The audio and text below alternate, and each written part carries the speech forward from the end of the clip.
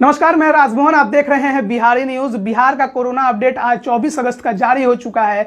जो नए आंकड़े स्वास्थ्य विभाग ने जारी किए हैं, वो पूरे बिहार के लिए थोड़े राहत भरे हैं, क्योंकि काफ़ी समय के बाद बिहार में नए मरीजों की पहचान का मामला 1500 से नीचे आ गया है। जी हाँ जो मामले लगातार तीन हज़ार, चार हज़ार मिल रहे थे, अब वो आंकड़ा आज गिर कर बारह पर आ गया है। इसके साथ ही बिहार में कुल संक्रमित मरीजों की जो संख्या है, वो पहुँच चुकी है एक लाख तेईस हज़ार तीन सौ तिरासी पर। लेकिन यह भी ध्यान रखना होगा कि इनमें से लगभग एक लाख मरीज़ ठीक हो चुके हैं।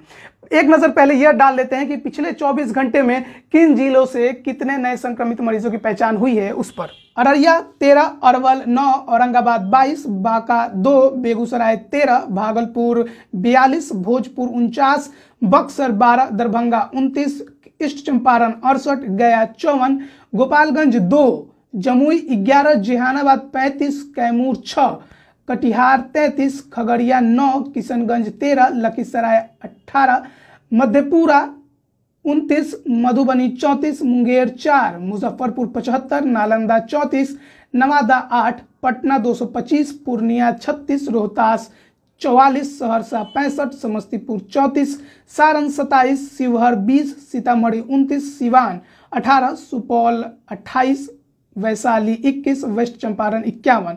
इस तरह पिछले 24 घंटे में पूरे बिहार से बारह नए संक्रमित मरीजों की पहचान की गई है।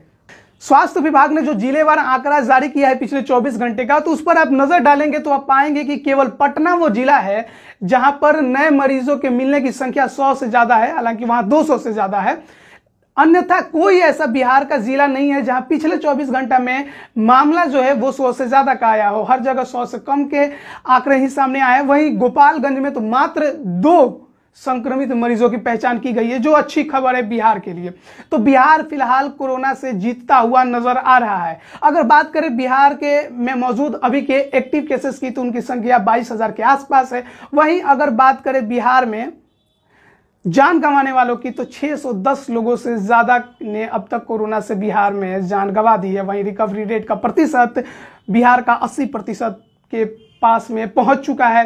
तो ये एक बड़ी खबर है बिहार के लिए कि एक लाख लगातार जाँच हो रहे हैं प्रतिदिन बिहार में। उसके बावजूद मामलों में भारी कमी आ रही है। तो यहाँ कहा जा सकता है और इसमें कोई दो राय नहीं है कि बिहार कोरोना से लड़ रहा है और जीत भी रहा है।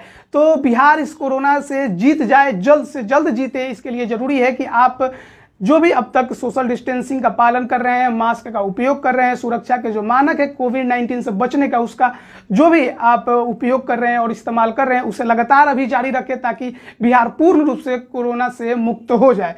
तो खुद की सुरक्षा करें और बिहार को सुरक्षित बनाने में सहयोग करें। फ़िलहाल के लिए इतना ही, खबरों में बने रहने के लिए देखते रहिए बिहारी न्यूज़। धन्यवाद।